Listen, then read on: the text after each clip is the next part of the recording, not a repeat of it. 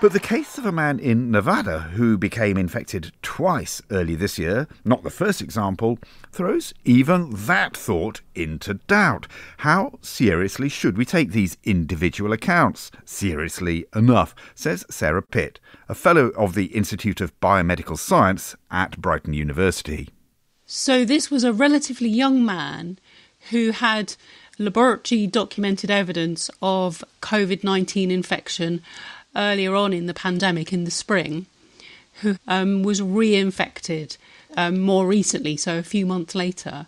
And the really interesting thing and the really valuable thing from our point of view as scientists is that because both times he was ill enough to seek medical treatment and go to hospital, have samples taken, which were analysed in the laboratory. And so, what they found is this is a completely new strain of the COVID 19 virus that this person was infected with the second time, which means it was definitely a reinfection, which means if he did have any immune response in the first place, he's definitely lost it and was able to be infected by the COVID 19 a second time.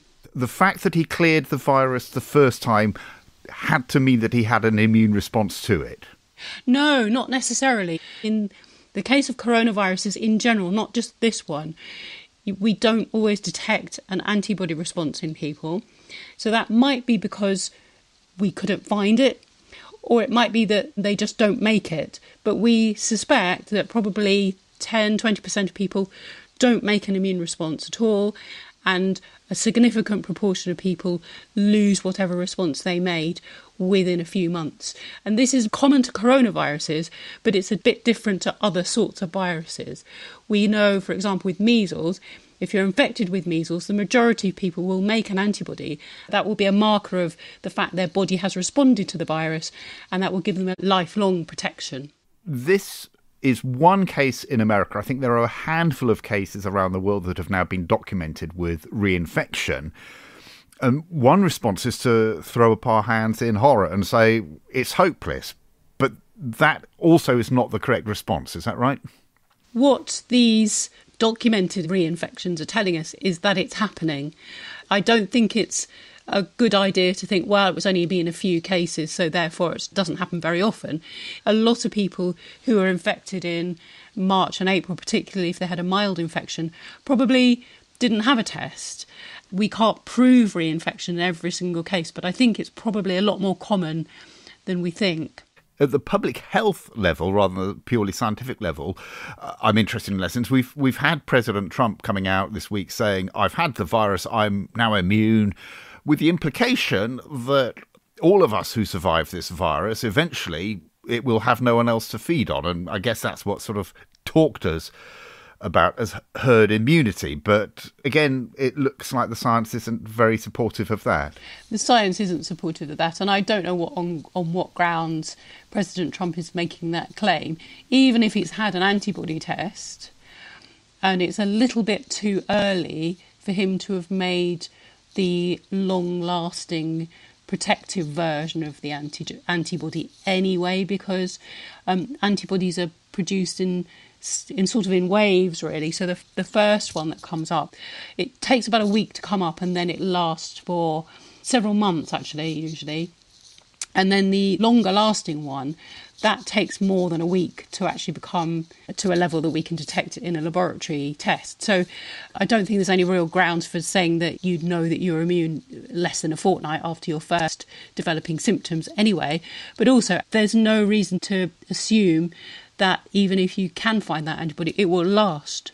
So we don't know if it will be protective anyway, and we don't know how long it will last. Um, herd immunity is not something which is going to happen with this particular virus. It's not something that's ever happened with any virus without a vaccine anyway but it's definitely not going to happen with this one. Uh, herd immunity, because it's got this word immunity in it, it sounds like perfect protection, probably uh, misrepresents it. Uh, even if everyone around you has got the immunity, that doesn't mean that it, the virus will never find you. And I don't know whether the other phrase I've heard used is um, is endemic equilibrium. The fact that this captures the idea that no, the virus will go on circulating. It just won't be at the same kind of exponential growth phases.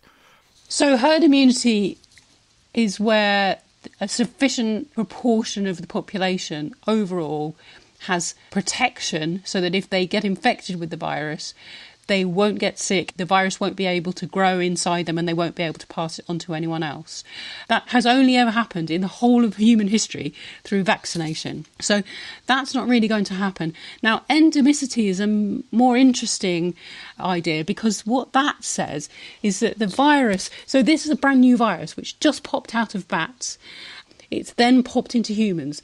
The humans are going, oh my goodness, this is a brand new virus. I haven't seen this. What do I do? And your immune system's frantically trying to make some kind of response. In the meantime, the virus is going, I'm not adapted to live in humans. What's going on? And it's not actually in the virus's long term interest to kill off millions of people. What it wants to do is kind of settle down and become sort of in equilibrium with the human population. But it's probably going to take more than a few years for that to happen. The viruses which are endemic, if you like, in the human population are things like measles and even influenza. They've been around for centuries, and so we're tracking any little changes to the virus. I mentioned earlier about different strains, but it's not really settling down. So it's too early to say whether it will settle down altogether. And one of the reasons why I'm sounding a bit sceptical about that is because that didn't happen with SARS 1. It went away. And one of the reasons it went away is because we didn't wait for it to settle down. We actually tried to get rid of it, which ultimately did work within about 18 months. So that's also a possibility for this virus as well, I think. Your point being that we can't let natural immunity deal with this because we can't rely on it. Uh, we don't know yet whether a vaccine is going to do the job or not. And we've talked about that on this program um, before. We don't necessarily have the, the drug. So, in a sense, what you're saying is that all these interventions of trying to reduce the contacts, reduce the spread, are, are still our main weapon. Uh, yes, I think they are. And the other example, which is useful to think about here, is its cousin MERS, the Middle Eastern Respiratory Syndrome virus, which popped up for the first time in 2012, so eight years down the line. That hasn't really settled down.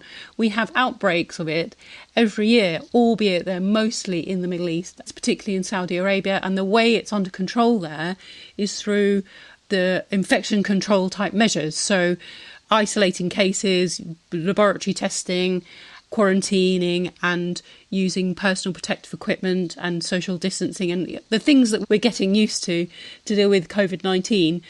They're having to do that's how MERS is under control. In places where MERS is found, they have to live with quite large outbreaks sometimes. There's nearly 200 people died from it last year and every year there's a there's an outbreak. And that's what we are probably going to see with COVID-19 for some time to come I think. And we have to be realistic about that. That doesn't mean to say we're going to have a pandemic on the scale that we've got at the moment but if we can bring it under control to some extent and have laboratory testing really spot on so that when somebody does get COVID 19, we can find them and we can trace all their contacts and we can quarantine those and then stop it turning into anything bigger. So, some countries so far around the world have actually been quite good at doing that already. In Europe, we're not quite so good at it. All across Europe this week, the reported cases are going up and up. But it's a question of keeping those controls on until something better happens yes, let's hope we do have a vaccine, but it may be that either it doesn't work at all or doesn't work as well as we think, and it might be we might use it a bit like the influenza vaccine, where we're not trying to stop people from getting influenza, we're trying to get them, stopping them from getting the worst excesses of the influenza infection. What we want to do is try and get this this virus in a situation where it's under control.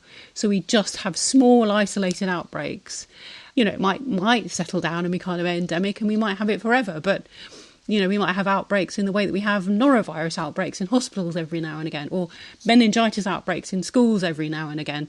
It's important and newsworthy and scary at the time, but it's just kind of very well contained. That's what we really should be aiming for with this one. Sarah Pitt, who lectures in microbiology and health at the University of Brighton.